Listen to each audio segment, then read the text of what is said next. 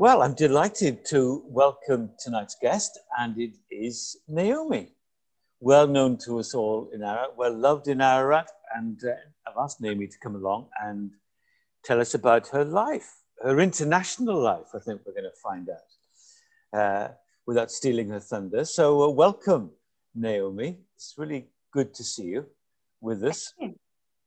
And so I wonder, Naomi, yeah, I know you've chosen three songs, eh, and you're gonna. We'll come to those in due course. And you fitted your life around these three songs. So I wonder if you could, um, if you could take us from from from birth to wherever adulthood, and tell us, you know, about your early days, where you were born, family life, all the and the things that stand out for you in that first part of your life. Mm, okay. I was born in southern Rhodesia, which is now Zimbabwe. Um, my, I was one of six children. I was number five. There were five girls and one brother. And um, my mother's name was Daisy, and my father's name was Arthur.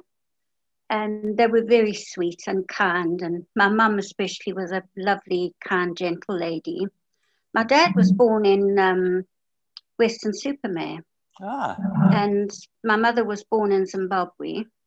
But my dad had strong Welsh roots because his father had traveled from Cardigan to South Africa to work on the boats that were laying undersea cables wow. from Cape Town to Cairo. I think it was probably a good venture for a young man and, you know, to earn some good money in those days. Sure. And uh, my mother's father had come from Surrey and had, was farming. So my mum was actually born on the farm, and um, well, they all were, and both had huge families. So I always say, I don't have a family, I have a tribe. There's so many of us. So um, I grew up there in southern Rhodesia, went to school. Um, we, my father was a devout Christian, and he was a Plymouth Brethren and none of us liked his church. My mum didn't like it. I didn't like it. My sisters didn't like it for different reasons. It was very strict, and we didn't like wearing our school hats to Sunday school. That was just not on. But I felt, I think my mum found it quite sort of stern and a bit judgmental. And so our home life was very strict. We had a, a, a great um, childhood but we weren't allowed music in the house and television and, you know, parties and, you know, we weren't allowed to go to the cinema. So it was quite strict and I didn't like it. And as I grew up, I be- became a little bit rebellious because, you know, the Beatles had just landed on the on the scene and, you know, I wanted to play music and but anyway, that's that's how it was. But I noticed after my my younger sister Ruth was born and growing up, my dad did mellow quite a lot. Mm. And um, so my childhood was very much into outdoor life. We were very privileged in in Rhodesia. Um, I was always on my bike, or otherwise I was on the tennis court. Tennis was my first love. Wow. Um, sport was compulsory in our schools, and I took part in most, but I didn't like hockey. But the rest of the, the things um, I enjoyed. And my mum also took up tennis. And so I used to play with her at her club on a Wednesday afternoon. And um, she was well known in the club for her fierce forehand and her practical jokes. She was always up to mischief and she made everybody laugh. And um, she loved her tennis. But if she had to play league, you know, on a Sunday, then she got into trouble with my father. He hated it. And he told her that when the Lord came to fetch his own, she would be left behind because she'd be on the tennis court. And I used to giggle at that, but you know, it was quite cruel, really, to say that to my lovely mum. But anyway, things did, did mellow out and, you know, things changed a bit. So, and um, then when I finished my O levels, we we had the British um, school system in in Rhodesia. Was very very British in those days. finished my O levels. I would have loved to have gone on to A levels, university. I wanted to be a teacher. And, um, but, you know, that was not an option in our family. You know, there were too many of us and there wasn't enough money. And it was also a case of, well, who do you think you are, sort of thing, you know? So I had to comply. And um, I decided that very boldly one day I would go, because my mother said to me, you better start looking for a job. So I went along to Barclays Bank and marched in. No, very politely, actually. I didn't march politely. Asked for an application form and filled it in, got an interview, got the job. In those days, was easy. You know, we're talking about the mid 60s. There were plenty of jobs for everybody. And then I asked the bank manager if he could um, organize my job to be in Botswana because my sister was living there with her family and she'd offered me a place to stay. Botswana was a neighboring country of um, Rhodesia and it was just becoming independent. So actually, the day that I arrived there was the day of independence. It was in 1966. So it changed its name from Bechuanaland, which was a British protectorate, to the Republic of Botswana. There was a very, very proud time for the people there. And they were wonderful. And I liked it because they hadn't had apartheid. So the people were more confident and more relaxed. They hadn't faced the brutal racism of South Africa and mm-hmm. Rhodesia. And when I was very young, I seemed to already have a social conscience because I worried about the poor people. And I didn't like the fact that the black people were treated differently.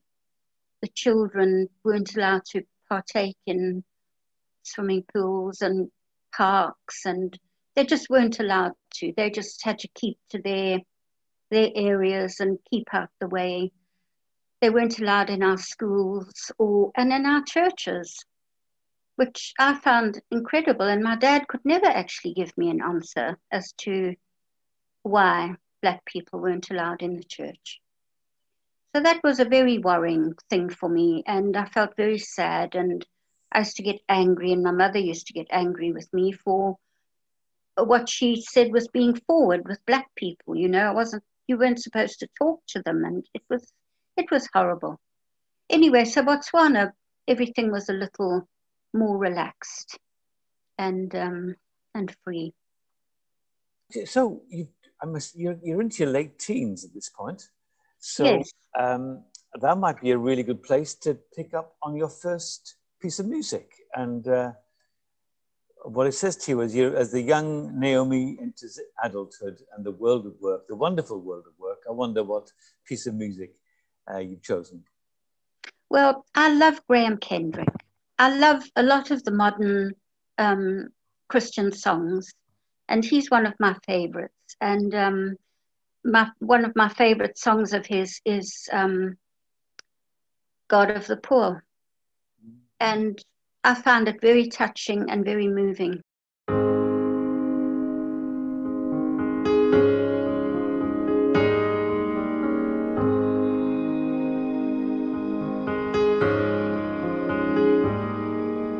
Beauty for brokenness, hope for despair. Lord, in the suffering, this is our prayer bread for the children, justice, joy, peace. Sunrise to sunset, your kingdom increase.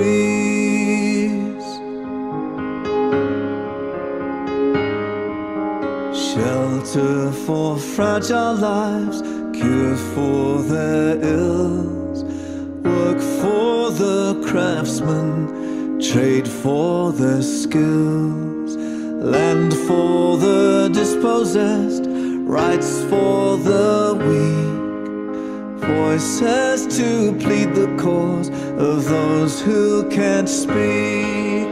God of the poor, friend of the weak, give us compassion, we pray. Melt our cold hearts, The tears fall like rain. Come change our love from a spark to a flame.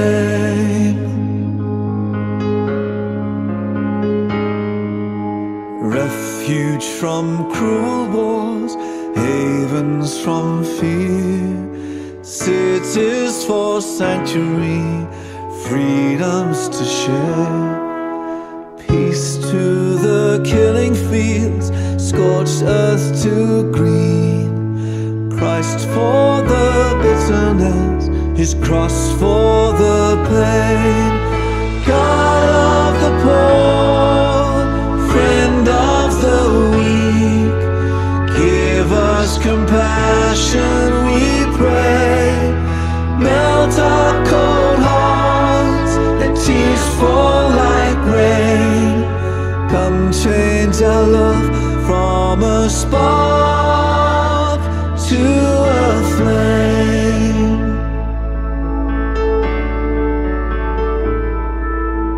Rest for the ravished earth, oceans and streams, plundered and poisoned, our future, our dreams.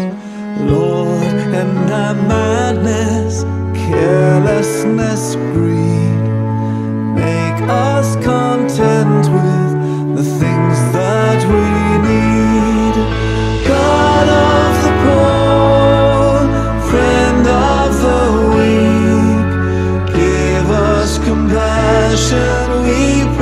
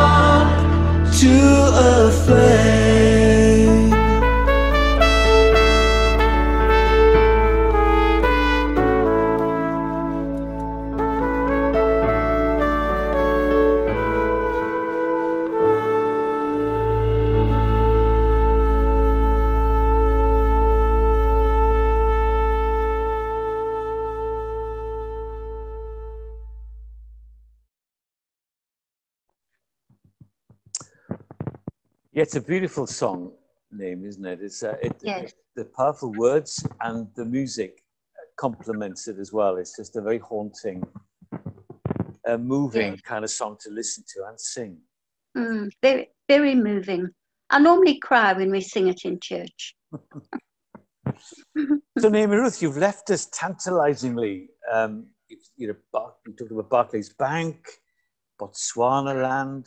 You talked about uh, apartheid growing up in a system of, um, of white privilege and being painfully aware of that injustice. So, I wonder if you'd you'd pick up the story and uh, and take us further.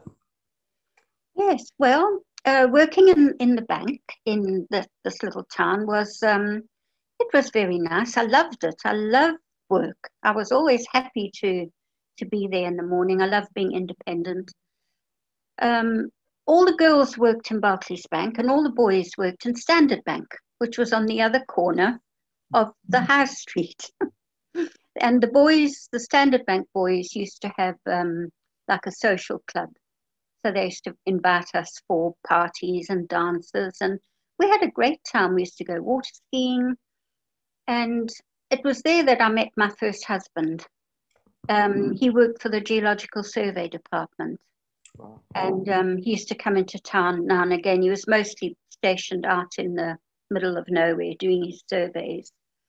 And um, I saw him in the bank and asked my colleagues who he was. Anyway, the bank manager knew him and invited us both to tea. So he played um, Cupid. and we were married a year or so later.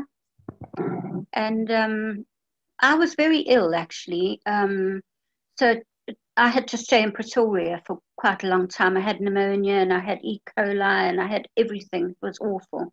Anyway, um, I recovered and I was pregnant, and the baby, thanks to the Lord, was healthy and strong, my little David.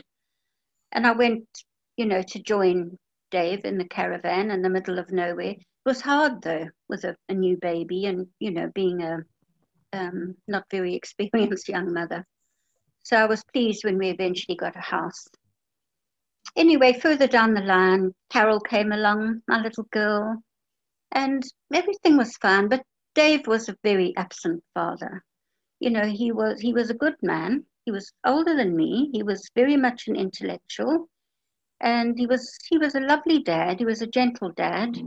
He had similar political views to me. He was a bit of a lefty at university and um, eventually we we parted ways, and it was sad. And then I went and lived in Durban, um, which was lovely, and I worked there. And Jason used to go to a little nursery school called Wonderland, and was run by a lovely Christian lady.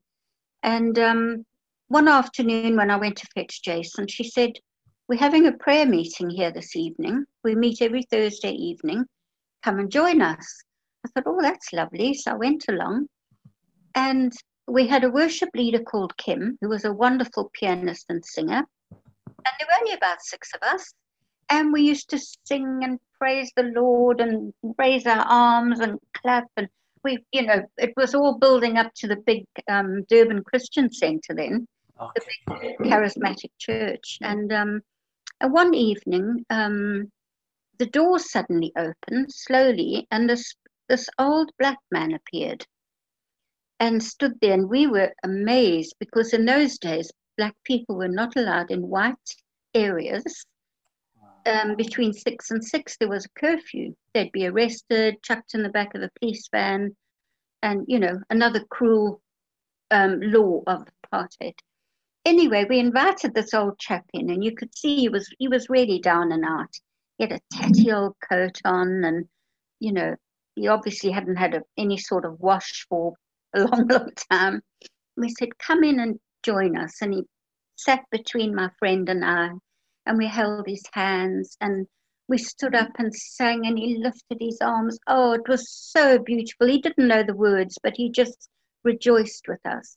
Yeah. And I remember the feel of his hand. It was so rough.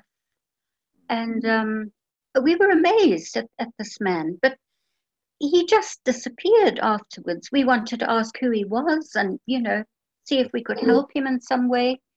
And by the time we looked, he had gone. We went out and looked up and down the street, and there was no sign of him. Yeah. And I often think about that old man, and I wonder he probably heard us singing from, you know, from the street or maybe he'd even been sleeping in the grounds. I don't know, but we were so blessed to have him come in there that night, and he never came again. Yeah, what a great story. Well, we loved Durban because you know we were at the sea, and the children loved it, and um, and I was very involved in my career then. I was working for a company that that was supplying dental equipment to dental laboratories, including gold so I used to travel around then with them. And um, then they transferred me after many years, actually, they transferred me to Johannesburg, their head office. And then from Johannesburg to go and build up the market in a town called Port Elizabeth, which was in the Eastern Cape. Um, I was very reluctant to go. You know, I didn't want to uproot the children again, but anyway, we did. We moved, and um, it it was tough there. It was in the eighties, mid eighties, and the situation in South Africa was volatile. You know, politically, you could feel it almost in the air that there was something bad brewing. People had had enough. There'd been riots and all sorts. And it was there that I joined um, um, a human rights organization called the Black Sash. It was mostly run, well, it was mostly women who ran it. It was an old organization and it had, had been started by a group of housewives in Johannesburg who protested to the government against um, uh, only the whites being allowed to vote. So they were famous for standing in the street with their black sash and holding a placard, you know, very peacefully. Our generation, we were a little more active, although we never broke the rules. And if we did go on the streets and protest, we used to get the appropriate permission. We had to show our posters to the authorities because we couldn't, you know, put anything on there that wouldn't incite violence. And we used to protest in the street. And but the most important thing I think was that we had advice officers in the in the main centres of South Africa where people could come and ask for advice, for help. And because it was a terrible time, we went from one state of emergency to the other and um, you know people it, it just gave the powers that be carte blanche to arrest to detain to lock people up nelson mandela was still locked up of course as were most of the the main anc leaders and um, so i used to go and work in the advice office two mornings a week scruffy little office we just had some rickety desks pencil and notepad, and these people used to come pouring in. They used to arrive early in the morning. They would have walked from the township because they couldn't afford bus fare. It was it was so bad. People were so poor. The poverty level was indescribable.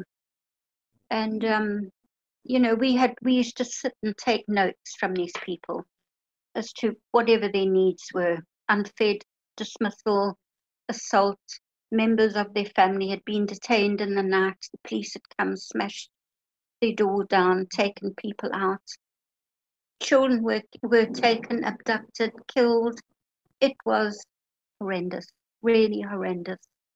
And there's the special branch, the police, they were our enemy. And they hated us with a passion. They used to call us all sorts of names. And um, we knew them because, you know, by sight, because they used to hang around um, outside our building to see who was coming in and who they could arrest, you know, and who they were always on the lookout. They were they were horrible. Mm. And um, one interesting thing that happened there was um, uh, one of the ladies asked me one day if I wouldn't mind helping out um, this um, human rights lawyer. She had her own practice, very close to our office, and she just needed someone to answer the phone while she was in court. I said, Yes, sure, I'll do that. And I went and sat in her office, and phone didn't ring, so I just sat there. And it looked perfectly legitimate and everything. And years and years later down the line, I found out that she was a spy for the South African government. There were quite a few. And um, her boyfriend was one of these special branch policemen who used to hang out on the on the street outside our office. So, you know, she worked closely to us, so she got quite a bit of information out of us. Mm. We uncovered a couple of moles. It was it was almost like James Bond sometimes. but um, on a serious note, it was it was so so difficult and scary my children knew not not ever to talk about it, you know, to their friends or at school, um, because I was scared. You know, they they knew exactly who who we were, and they were just waiting for us to, you know, to trip up. Mm. So um, yeah, nasty. It must have been hard to know who to trust, Naomi Ruth, I'd imagine, at, uh, at that time. It was. Well, I didn't speak to any of my friends about it, and my family didn't know what what was going on. They didn't know because, um, you know, if if they ever got wind of it, well, I remember my mother once saying to me something about she'd heard something, and she said to me, "Are you a communist?" and I said, "No, mum." I said, "Do you know what a communist is?" And oh, clearly she didn't. And I said, "No, I'm not a communist. I, I just care about people." So, but it, they were dangerous times. They were horrible times, and um, you know, it was just joyful when Nelson Mandela was eventually released. Not only joyful, but absolutely necessary because we were on the brink. Yeah. And I can't even begin to think what it would have been like had had it gone on. You mentioned uh, Nelson Mandela there, Naomi. So I'm, I'm trying, I'm casting my mind back. I'm going to say that was in the early 90s. Yes, well, he, yes, he was released, if if I'm correct, I think in 1990. Hmm. So I'm talking about the eight from the mid 80s to the end 80s when I was with in Port Elizabeth and with the Black Sash, and then things gradually started to change. Do you know that we were never allowed to see pictures of Nelson Mandela? Really? It was forbidden. You, if you had a picture of Nelson Mandela, and somebody reported you, you would be arrested because of the state of emergency. We weren't allowed to mention his name. Um, sometimes we used to talk in code in, in the office. Sounds dramatic, but we had to be careful because you never knew who was listening. yeah. Wow. Yeah, was Extraordinary. So he goes, so he went from being most wanted man in South Africa pretty much to president within uh, a matter of years. Yes, well, he was he was uh, called a terrorist and a dangerous man. Um, he never used violence. He tried everything. He tried dialect, um, you know, to change to give an equal opportunity to the majority. Um, but he was he was called a terrorist, and people believed that he was violent. There was there was a situation with a I think a railway line being blown up at one stage.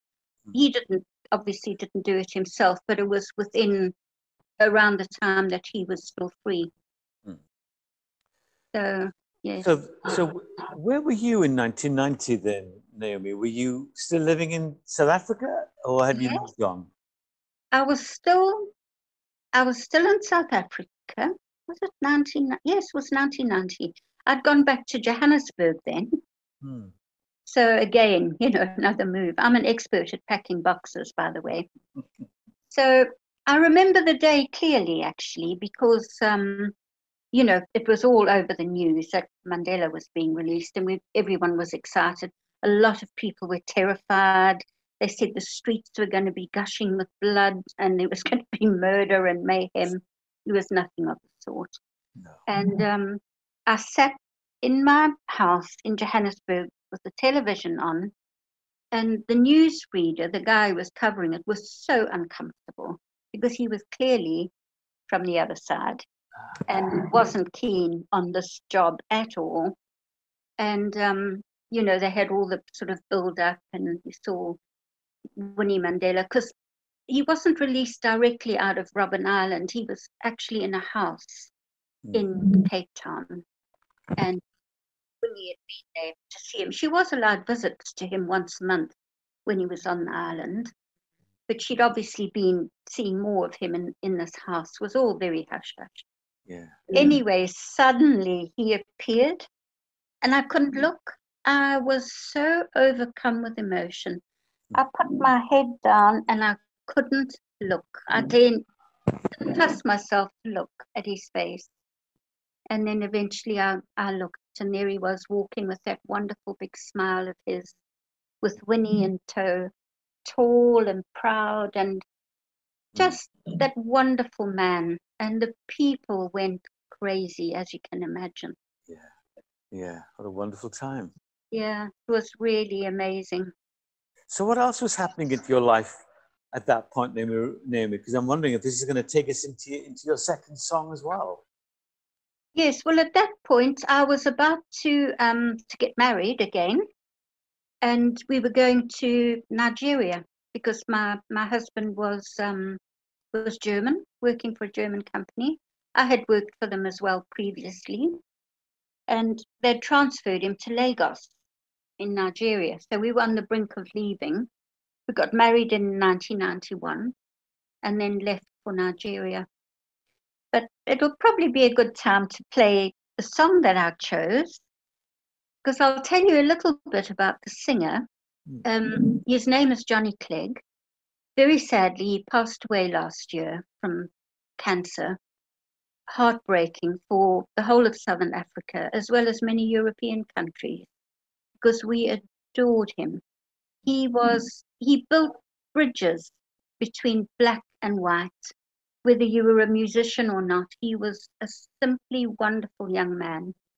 And he had a fascination to learn how to play the guitar the way the black people did, because apparently they use a different technique or something. And he studied the music from the time he was young in Johannesburg. And then he formed a band and he toured everywhere. And in France, he was known as the White Zulu because he could also dance, wow. you know, traditional dancing with, with the Zulus. What a guy. Simply a wonderful man. And he's left such a fabulous legacy of music for all of us who love Africa. Hmm. So this particular track. He was, um, it was a concert in 1999 in Frankfurt, and he was singing a song called Asimbonanga, and it means we haven't seen him. And it was a song that he wrote in the 80s. Um, he will he will explain it um, about the fact that we hadn't seen Mandela, we weren't allowed to see him, but you know he was always with us basically. 13 years ago in 1986, South Africa was in a state of emergency. And um, there was a very intense cultural struggle that was being waged. And we were part of that. And this is a song that we wrote for a truly one of the greatest South Africans um, in history, Nelson Mandela. And we'd like to open the show tonight with a tribute to him.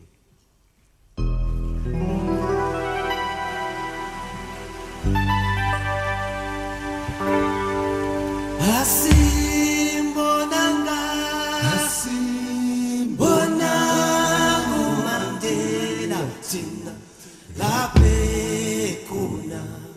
Lape hleli kuna Asimbonanga Asimbonanga Mandela Tina Lape kuna Lape hleli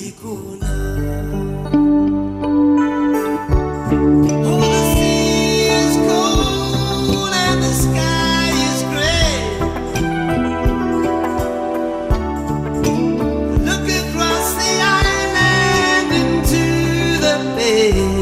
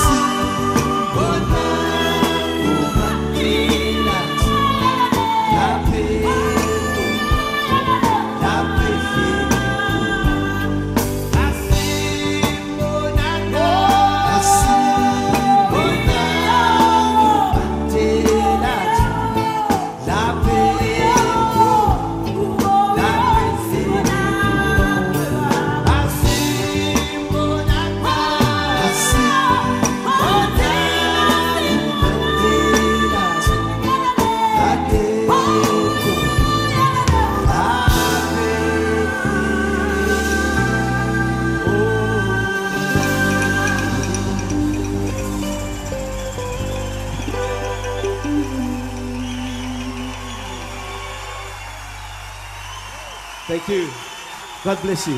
Thank you. want to say anything? You want to say anything?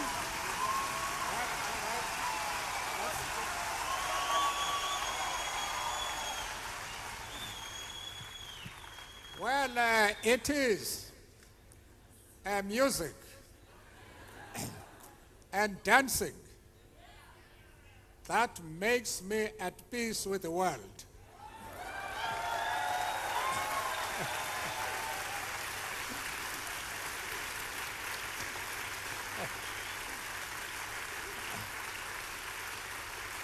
and and at peace with myself.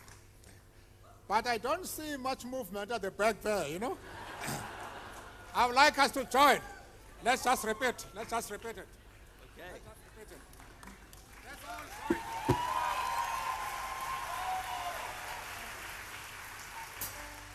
Asimbonanga Asimbonanga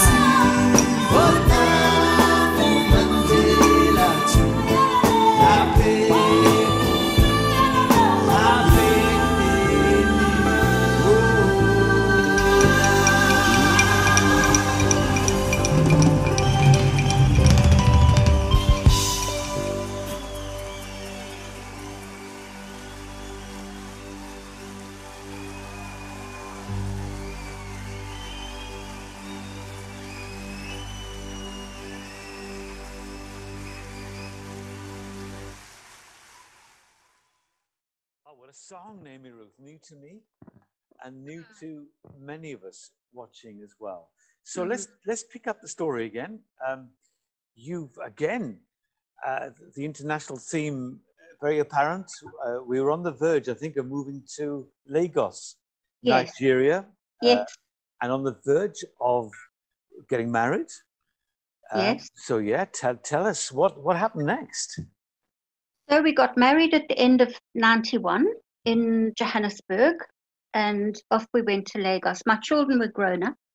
I was terribly sad to leave them behind, to leave my country, my job, my career, friends, and everything.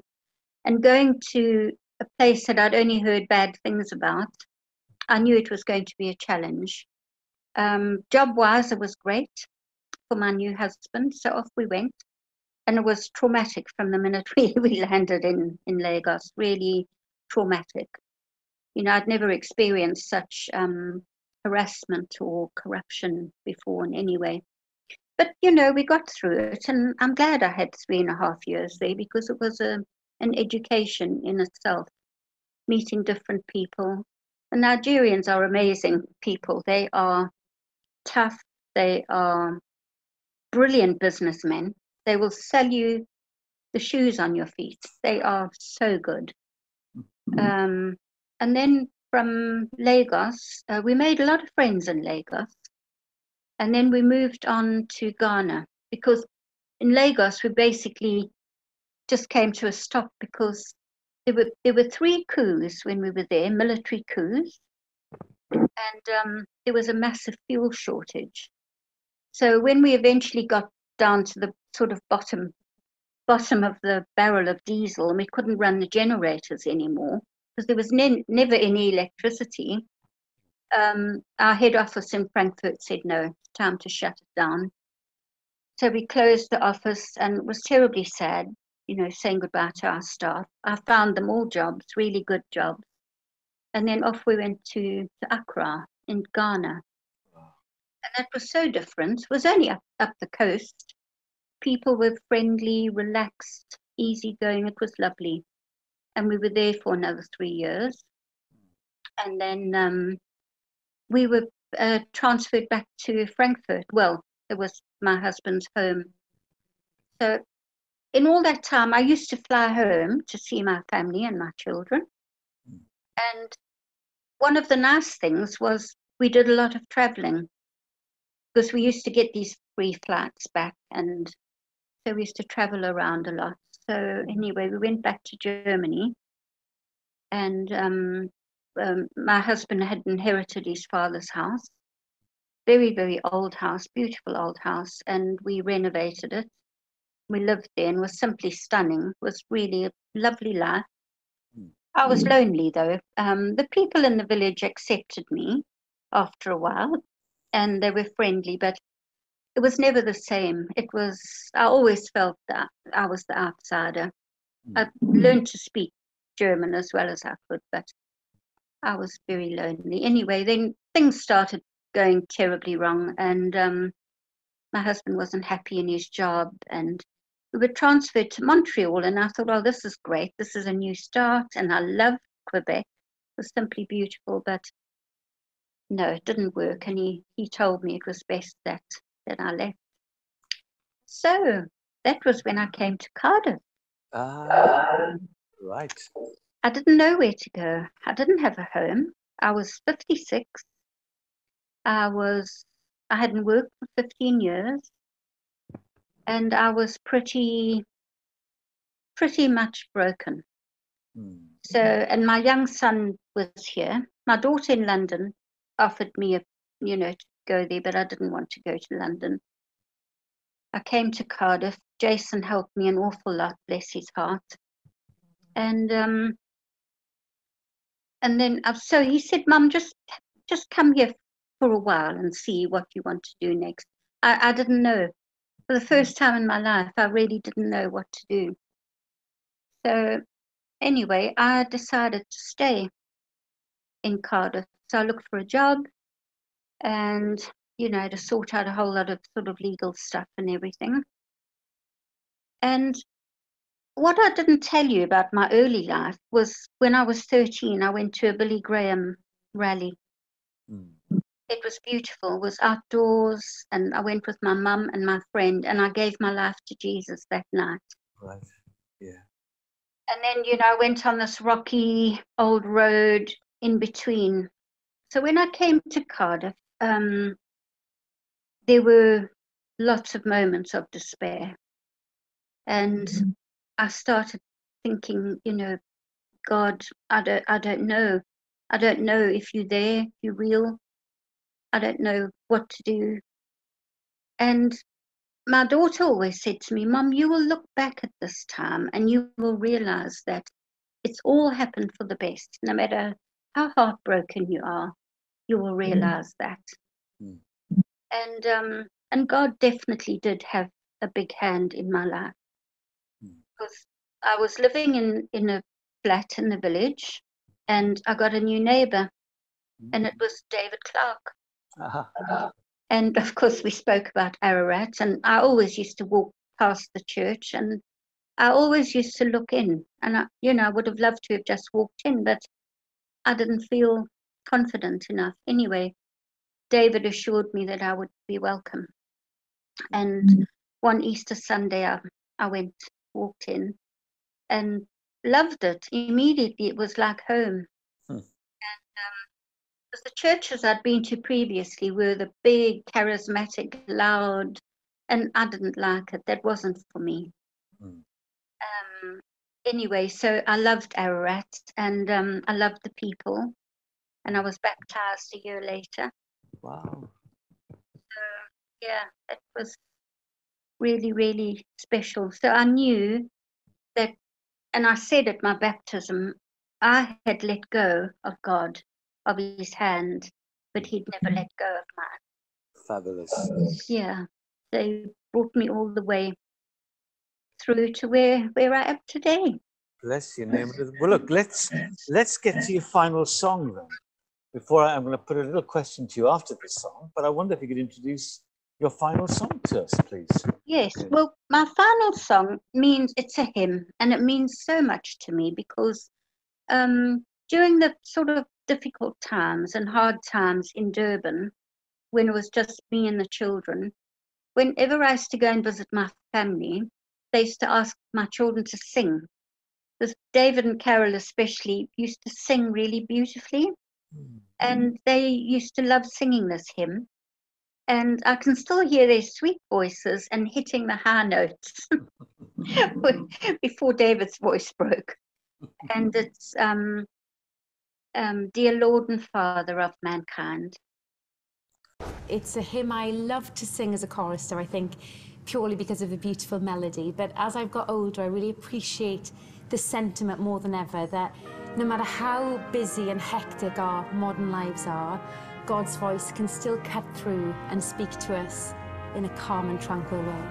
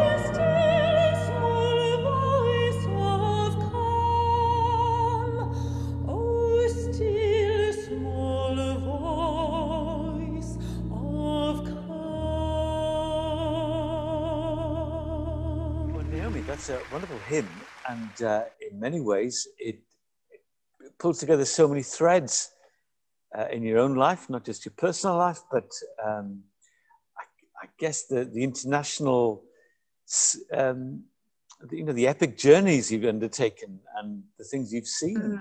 in your life, and some of the foolish, deeply foolish and cruel things that people are capable of inflicting on each other and in need of God's mercy. So thank you for that. Before we go, Naomi Ruth, I've asked everybody else so far um, to what would happen in your particular instance if uh, Naomi today bumped into uh, maybe maybe back in back in Rhodesia as it would have been back in those days. Uh, as an eight year old eight year old self, what would you would you have any words of advice? What would you say to yourself? All those, if you could. I would have so many words of advice given. Firstly, I would say don't be afraid to stand up for what you believe in. Um, you know, be confident and always rule with your head before you rule with your heart. That's a big piece of wisdom, Naomi. Big Taken a long time.